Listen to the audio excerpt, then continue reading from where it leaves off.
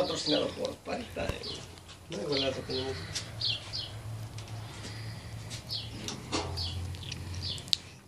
En la fiesta de Benjamín, el señor vegetariano, arroz frijol, su pasta y sus fajitas, acompañado de su ensalada fresca y su salsa.